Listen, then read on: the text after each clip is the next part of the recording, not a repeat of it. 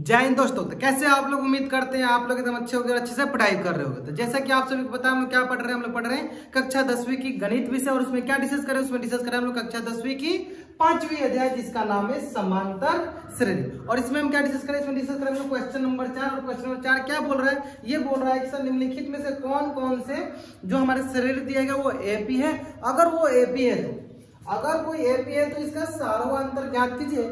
अगर होगा तब सर्वांतर ज्ञात करना है, ठीक है? फिर अगर होगा तभी हम इसके तीन और पद लिखना है है ना? तो इस प्रकार का क्वेश्चन मैंने पिछली क्लास में भी कराया था, उम्मीद करते हैं आपने देखा होगा। अगर आपने नहीं देखा तो ज़रूर ज़रूर जाकर वो पिछला क्लास देखिए, बहुत ही इंपॉर्टेंट था, है ना? अगर देखो, मैं जो आपको बताने जा रहा हूँ, सबसे इंपॉर्टेंट बात है कि हम लोग जो शुरू से अभी चल रहा है, जो एनसीआरटी का जो सीरीज़ हम लोग का चल रहा है, अगर आप शुरू से फॉलो करते आ रहे हो तो आपको कहीं भी डाउट नहीं आना चाहिए। फिर भी अगर आपको कहीं भी डाउट होता है तो ज़ोर ज़ोर आप कमेंट बॉक्स में बताया करो। जहाँ से मतलब हमसे कनेक्ट हो सकते हैं कनेक्ट करो कम्युनिटी में पोस्ट कर दिया करो, हम आपकी डाउट ज़रूर सॉल्व कर देंगे, है ना? तो चलिए बढ़ते हैं इस क्वेश्चन का क्वेश्चन क्या बोल रहे है? क्वेश्चन नंबर पाँच। क्वेश्चन पाँच क्या बोल रहा है हमारे पास? दिया गया क्या क्या श्रेणी दिया गया? पहला दिया थ्री यानी इसको मान लेते हैं हमारा पहला पद। कौन सा पद हो जाएगा सर? पहला पद जिससे हम किससे डिनोट करेंगे? ए वन से।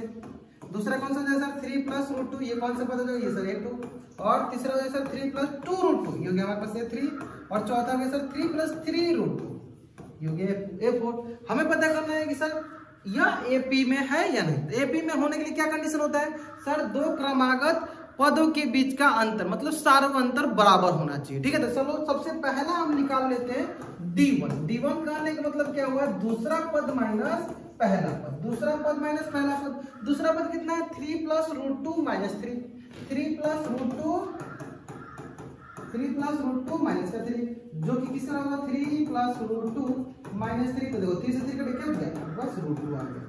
यानी सर, पहला हमारा जो सार्व अंतर कितना है सर? वो है रूट टू आ गया क्या गया वो रूट टू चलो, ठीक, इसी प्रकार हम दूसरा निकाल लेते हैं। इन दोनों के बीच का तो दूसरा मतलब डी टू डी टू क्या होगा? सर, तीसरा पद माइनस दूसरा पद। और तीसरा पद क्या है सर? तीसरा पद देखो हमारे पास। Three plus two root two minus का थ्री प्लस रूट टू है ना? तो ये आ जाएगा हमारे पास, चलो three plus two root two ये plus minus minus plus minus root two है ना? यहाँ से हमें अगर ध्यान से देखोगे तो यहाँ मिलेगा हमें, देखो थ्री से थ्री कट गया, और यहाँ गया देखो टू रूट टू में से एक रूट टू माइनस करने क्या बच जाएगा हमारे पास सिंपल रूट टू बच जाएगा सिंपल क्या बच जाएगा रूट टू यानी ऊपर भी रूट टू नीचे भी रूट टू दूसरा मिल गया? चलो, तीसरा पे आए थे। तीसरा पढ़ तो तीसरा हो गया डी थ्री जो होगा वो कहोगे वो क्या होगा सर? चौथा पद माइनस तीसरा पद। चौथा पद क्या है? Three plus three root two minus three plus two root two है ना? यानी क्या आ गया? Sir three plus three root two minus three plus two root two. यानी यहाँ से क्या मतलब देखो, three plus three root two minus का थ्री, माइनस का टू रूट टू, है ना? तो थ्री से थ्री कट गया। थ्री रूट टू में से टू रूट टू गया, कितना हो जाएगा? ये हो जाएगा सर हमारे पास रूट टू। यानी देखो यहाँ से क्या मिल गया? रूट टू यानी root two root two root two हमें यहाँ पास क्या है? सारे के सारे सार्वंतर क्या रहे? बराबर आ रहे हैं। मतलब सारे सारे सार्वंतर कितना आ रहे हैं? रूट टू आ रहे हैं। इसका मतलब क्या हुआ? इसका मतलब ये हुआ कि जो दिया गया जो श्रेणी है ना, ये किसमें है? ये सार्व समांतर श्रेणी में। क्योंकि इसका सार्व अंतर क्या है? बराबर है। यानी क्या बोलेंगे? यहाँ पे सार्वंतर सार्व अंतर जो है डी है, वो कितना बराबर है? रूट टू यानी दी गई श्रेणी, दी गई श्रेणी दी गई श्रेणी क्या है? एपी में है। एपी में है। क्लियर है? चलो तो बोला क्या गया कि अगर कोई एपी में होगा तो सर्वंतर क्या सर्वंतर कितना है? रूट टू जब इतना मिल जाने पर क्या करना है सर? अगला तीन पद और ज्ञात करना है। तो हमारे पास कहाँ तक three three plus root two three plus two root two three plus three root two है ना? तो इसके अगला पद निकाल लेते हैं। चलो देखो। पहला दिया गया पद three three plus root two three plus two root two three plus three root यहाँ तक दिया गया, इसके आगे का हमें निकालना और तीन पद। तो थोड़ा सा अगर ध्यान दोगे, थोड़ा सा ध्यान दोगे जैसे कि हो गया हमारा पहला पद ए वन ये सब दूसरा जो पद आया आएगा कैसा आएगा ये आएगा हमारे पास ए टू देखिए कैसा आएगा ए वन में हमने सार्वंतर को जोड़ दिया होगा ना? मतलब पहला पद में हमने सार्वंतर मतलब किसको जोड़ा है? रूट टू को जोड़ दिया दिया गया होगा, है ना? ठीक उसी प्रकार हमने जो तीसरा पद कैसे आया आएगा सर, तीसरा पद आएगा दूसरा पद में हमने सार्वंतर मतलब रूट टू को जोड़ दिया होगा। ठीक उसी प्रकार हमने, ये जो हमारे पास चौथा पद है कैसा आएगा सर, तीसरा पद में हमने रूट टू को जोड़ दिया होगा, है ना? मतलब डी को जोड़ दिया होगा सार्वंतर को जोड़ दिया होगा ना? ठीक उसी प्रकार मैं बोलूँगी, सर, पांचवा पद कैसे आएगा? तो बोलेंगे, सर, चौथा पद में ना, आप डी को जोड़ दो मतलब सार्वंतर को जोड़ दो। चौथा पद कितना है, sir? Three plus three root two sir, यहाँ पे रूट टू है। तो ये आ गया, सर इसके साथ क्या जोड़ देंगे हम? सार्वंतर सार्वंतर कितना है, सर? रूट टू ये आ गया, सर, हमारे पास थ्री प्लस फोर ये हो गया हमारे पास कौन सा पद? ये हो गया पांचवा पद मतलब जस्ट इसके अगला पद, है ना? अब देखते हैं सर छठा पद। ये होगा सर ए फाइव प्लस मतलब पांचवा पद पद प्लस उसका सर्वांतर तो पांचवा पद हो गया हमारे पास कितना है? Three plus four root two plus सर्वांतर ये क्या आ जाएगा सर? ये जाएगा three plus five root two है ना?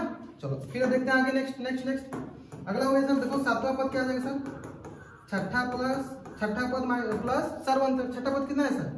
छठा पद हमारे पास देखो कितना गया? Three plus five root two plus का सर्वांतर तो थ्री प्लस ये रूट टू रूट वाला जोड़ देंगे तो क्या आएगा सर? ये आ जाएगा three plus six root two यानी इस प्रकार हमारे पास आगे के जो तीन पद हैं, इस प्रकार हमारे पास आगे के जो तीन पद हैं, वो कौन कौन से हैं? तो एक है हमारे पास three plus four root five four root two, दूसरा है three plus five root two, और तीसरा है हमारे पास three plus six root two, है ना? यानी आगे के हम ना अगला तीन ती, तीन पद है। तो यानी चौथा पद तक दिया था ये पांचवा हो गया छठा हो गया सातवा हो गया। ठीक है? तो मतलब कुल मिला के आपको क्या समझना है यहाँ पे? कुल मिला के आपको यहाँ पे ये समझना है कि अगर हमें कोई श्रेणी दिया गया है अगर हमें पता करना है कि वो एपी में है कि नहीं तो हम क्या करेंगे? सबसे पहले हम उसका सार्वंतर चेक करेंगे। अगर सार्वंतर बराबर आ गया तो बोलेंगे वो एपी में है और जैसे ही पता चल गया सर वो एपी में है आगे का हज़ार पद निकाल लो, आपको क्या करो? एक पद में उसके अगला सार्वंत्र जोड़ दो। फिर वो पद मिलेगा उसमें सार्वंत्र जोड़ दो। आपको आगे के पद मिलते जाएँगे, है ना? चलिए सेम कंसेप्ट से बढ़ते हैं नेक्स्ट क्वेश्चन की तरफ़। इसमें भी वही बोला गया। सेम क्वेश्चन क्या बोला गया? पहला पद दिया गया हमारे पास। पहला पद दिया गया हमारे पास। ज़ीरो दशमलव दो मतलब ए वन दूसरा पद दिया गया ज़ीरो दशमलव दो दो, ठीक है ए टू तीसरा पद दिया गया ज़ीरो दशमलव टू टू टू चौथा पद ज़ीरो दशमलव टू टू टू है ना? चलो, क्या निकालो सबसे पहले? निकालो सर सर्वंतर यानी पहला सर्वंतर क्या होगा sir? A two minus A one A two कितना है? चलो, ज़ीरो दशमलव दो दो में से क्या घटाना है? ज़ीरो दशमलव दो। इसमें बहुत बच्चे गलती करते हैं। घटाते इसमें बहुत बच्चे गलती करते हैं माइनस ज़ीरो दशमलव दो। ऐसे तो देखो, इसमें दो टर्म इसमें दो टर्म बना लो क्या लिख लो? यहाँ पे ज़ीरो क्लियर है? अब घटा दो। जैसे घटाओ तो आपको मिलेगा ज़ीरो दशमलव दो। और दो में से मतलब ज़ीरो दशमलव ज़ीरो दो मिलेगा। कितना मिलेगा? ज़ीरो दशमलव ज़ीरो दो मिलेगा। क्लियर है? चलो, अब आते हैं नेक्स्ट अब निकला दूसरा सार्वंतर मतलब तीसरा पद माइनस दूसरा पद। तीसरा पद कितना है? ज़ीरो दशमलव दो दो दो। ज़ीरो दशमलव दो दो दो माइनस ज़ीरो दशमलव दो दो, है ना? चलो, यहाँ पे दो टर्म एक टर्म लगा अपने से क्या करें? ज़ीरो बैठा दो, है ना? क्या मिल जाएगा हमारे पास?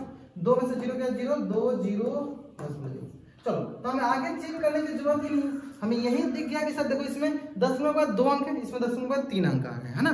तो यानी ये दोनों सार्वंतर बराबर ही नहीं है। हमें आगे चेक करने की ज़रूरत नहीं है बोल देंगे क्या? कि डी वन नहीं बराबर है किसके? डी टू यानी पहला जो सार्वंतर है, दूसरे सार्वंतर के बराबर नहीं है। इसका मतलब क्या हुआ कि सर दी गई दी गई जो श्रेणी है, यह एपी में नहीं है। एपी में नहीं है। क्यों नहीं? है क्योंकि सर इसके सार्वंतर बराबर नहीं है। इसके common difference are not equal that's why it is not an AP यह एपी में नहीं होगा। ठीक है? अब जब एपी में नहीं होगा तो क्या सार्वंतर ज्ञात करने की ज़रूरत है? ये क्या अगला तीन पद ज्ञात करने की ज़रूरत है? नहीं। एपी में होगा, तभी हम आगे का चेक करेंगे। एपी में नहीं होता हमें आगे चेक करने की ज़रूरत नहीं है। है ना? चलिए बढ़ते नेक्स्ट क्वेश्चन की तरफ़। Next question question number seven है ना? चौथा क्वेश्चन नंबर सेवन है। पहला पद क्या दिया गया? Sir, zero.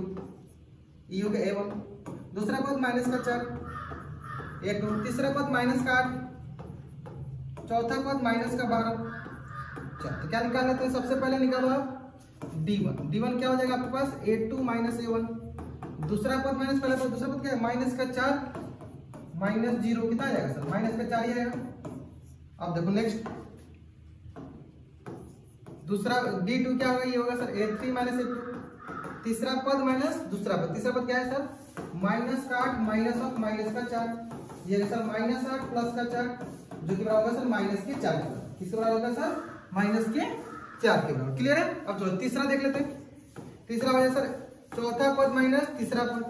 चौथा पद कितना है सर? माइनस के बारह में से किसको घटा देंगे? माइनस के आठ को। माइनस के बारह में से माइनस के आठ घटा देंगे क्या मिलेगा हमारे पास? माइनस बारह। और प्लस आठ कितना माइनस का चार। तो इस प्रकार अगर ध्यान से देखो ना ये भी सार्वंतर, ये भी सार्वंतर, ये भी सार्वंतर। मतलब सारे सारे सार्वंतर बराबर देख रहे हैं। इसका मतलब ये हुआ कि सर D1 बराबर डी टू बराबर डी थ्री है ना? बराबर कितना है सर? माइनस का फोर यही हमारा सारा अंतर है ये सारे सर क्या है? बराबर है। सारे सर क्या है? बराबर है। इसका मतलब जो दिया गया हमारे पास श्रेणी है वो किसमें है सर? वो एपी में इसका मतलब दी गई दी गई श्रेणी एपी में है। दी गई श्रेणी किसमें है? सर एपी में है। क्लियर है? चलो, जैसे ही पता चला सर, दी गई श्रेणी एपी में। सार्वंतर कितना है? माइनस का चार। अब अगला क्या करेंगे? अगला तीन पद निकाल लेंगे है ना? तो क्या बोला गया? ज़ीरो माइनस चार। ज़ीरो माइनस चार माइनस आठ माइनस का बारह। है ना? तो हमें क्या करना है? इसके आगे के तीन पद ज्ञात करना। इसके आगे क्या हमें तीन पद ज्ञात करना है। चलो तो पहला पद, ये हो गया दूसरा पद। तीसरा पद, चौथा पद। तो पांचवा पद क्या होता है सर? पांचवा पद होगा, चौथा पद में किस किसको जोड़ देंगे सर? सार्वंतर और सार्वंतर कितना दिया था? सर सार्वंतर दिया था माइनस का चार। जोड़। तो चौथा पद कितना मेरे पास? माइनस का बारह। जोड़ माइनस का चार। ये हो जाए सर माइनस का बारह, माइनस का चार, यानी माइनस का सोलह। इसका मतलब ये हुआ, सर, पांचवा पद हमारे पास कितना आ गया? माइनस का सोलह आ गया। पांचवा पद कितना आ गया? माइनस का सोलह आ गया। अब देखते हैं सर, छठा पद। छठा पद क्या होगा सर? पांचवा पद में किसको जोड़ देंगे? सार्वंतर को पांचवा पद कितना है सर? माइनस के सोलह में किसको जोड़ देंगे? सार्वंतर को तो ये आ जाएगा हमारे पास। माइनस सोलह, माइनस चार, यानी माइनस का बीस आ जाएगा। क्लियर है? चलो, इसके बाद आते हैं सातवा पद पे। सातों पद सर छठा पद। छठा पद जोड़ सार्वंतर छठा पद कितना सर? माइनस का बीस। और माइनस के बीस में हम क्या जोड़ देंगे? अपना सार्वंतर ये गया माइनस बीस। माइनस चार, जो कि किससे बराबर जाएगा सर माइनस के चौबीस के बराबर इस प्रकार हमारे पास अगला तीन जो पद होंगे कौन कौन से हो जाएँगे? माइनस का सोलह, माइनस का बीस, माइनस का चौबीस। ठीक है? समझ में आ गया अच्छे से? उम्मीद करते हैं अच्छे से क्लियर समझ में आ गया होगा। देखो क्लियर क्या करना है आपको इसमें? चेक करना है कि अगर वो एपी में कैसे एपी में चेक करेंगे? सार्वंतर बराबर तो एपी में होगा। एपी में होगा, तभी हम उसका अगला तीन पद चेक करेंगे। अगर एपी में नहीं होगा तो उसका अगला तीन पद चेक करने की ज़रूरत नहीं है है ना? चलो, एक क्वेश्चन और देख लेते हैं क्वेश्चन और देख लेते हैं। ध्यान क्वेश्चन नंबर एट बहुत अच्छा सा क्वेश्चन है, बहुत अच्छा सा क्वेश्चन है, देखो। क्या बोला देखो, ये सबसे आसान क्वेश्चन है। पहला पद क्या दिया गया? वन बाई टू माइनस का वन बाई टू दूसरा पद क्या दिया गया? ये भी माइनस का वन बाई टू तीसरा पद क्या दिया ये भी माइनस का वन बाई टू चौथा पद क्या दिया ये भी सर माइनस का वन बाई टू तो अगर आप थोड़ा ध्यान दोगे ना, तब देखोगे sir D one A two minus A one A two minus A one क्या हो गया sir? Minus one by two minus of minus one by two या जैसा माइनस वन बाई टू और प्लस का वन बाई टू कैसे कितना zero है ना? ज़ीरो ठीक उसमें अगला भी घटा होगा sir A three minus A two यहाँ पे भी क्या होगा zero A four minus A three यहाँ पे क्या होगा ज़ीरो यानी अगर ध्यान देखो ना सारे सारे एक ही पद आ रहे मतलब एक ही तरह के पद आ रहे इसका मतलब इसका सार्वंतर क्या दिख? रहा है इसका सार्वंतर हमेशा ज़ीरो दिख। रहा है यानी बोलेंगे क्या? कि सार्वंतर बराबर। है क्या बोलेंगे सर इसका? सार्वंतर सार्वंतर बराबर है। और कितना है सर सार्वंतर बराबर है? तो वो है सर ज़ीरो के बराबर। किसके बराबर है सर? ज़ीरो के बराबर। इसका मतलब जो दी गई हमारे पास श्रेणी किस प्रकार की श्रेणी है तो सर वो एपी में है, यानी दी गई श्रेणी दी गई श्रेणी एपी में है। जब एपी में है तो अगला तीन पद कैसे निकालेंगे? बहुत ही आसान सा है, सर। जब इसका सार्वंतर ज़ीरो है तो यही अगला तीन पद भी क्या आने वाला है, सर? अगला तीन पद यानी एफ़ फाइव भी क्या आने वाला है, सर? माइनस का one by two. A six भी क्या आने वाला है, सर? माइनस का वन बाई टू। और ए सेवन भी क्या आने वाला है, सर? माइनस का वन बाई टू। है ना? क्यों? क्योंकि सर, इसमें जो सार्वंतर जोड़ेंगे, वो ज़ीरो ही जोड़ेंगे। ज़ीरो जोड़ने पे वही संख्या ही आएगी, है ना? तो ये सबसे आसान क्वेश्चन मतलब इसको क्या बोलेंगे?